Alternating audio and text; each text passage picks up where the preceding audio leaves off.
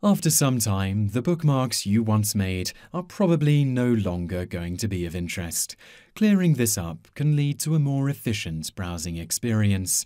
This tutorial will show you how to delete bookmarks on Google Chrome.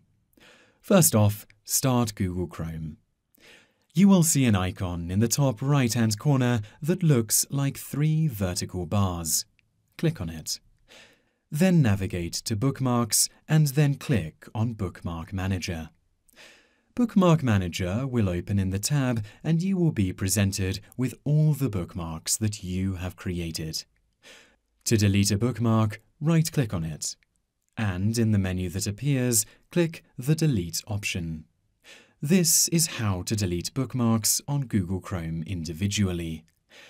Deleting several bookmarks at once is a very similar process. Hold down the Control key on your keyboard.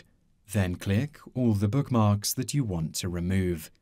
Let go of the Control key and right-click on any one of the selected bookmarks. Click Delete.